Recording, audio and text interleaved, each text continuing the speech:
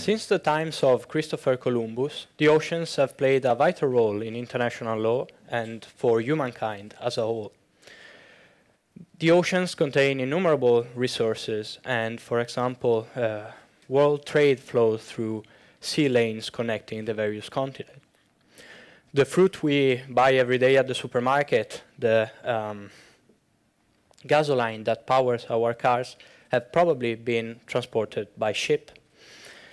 Therefore, the question of who is entitled to regulate and to uh, exploit the sea is uh, fundamental to these days. For this reason, I chose to uh, study the historical development of the law of the sea, which is the uh, set of rules governing maritime interactions between different nations.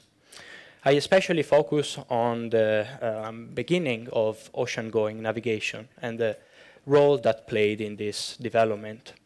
As the first Europeans started to sail across the oceans, they felt the need of establishing a, a legal status for the oceans.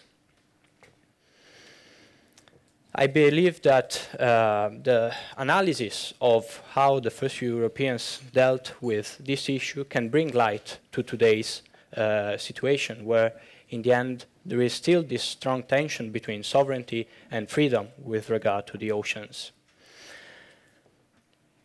In particular, I uh, analyze the genesis of these of two principles uh, dealing with the oceans. The first, the uh, closed sea principle, under which it is uh, possible for states to acquire sovereignty, possession of the sea.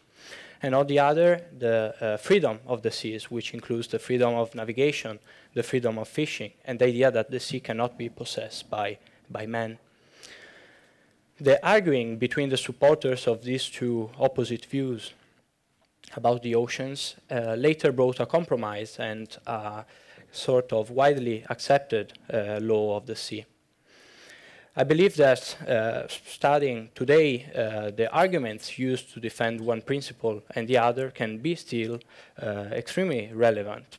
Since, for example, we see that today there is this strong friction between freedom and sovereignty, for example, in the uh, South China Sea or with regard to the Arctic seas to the north of the globe.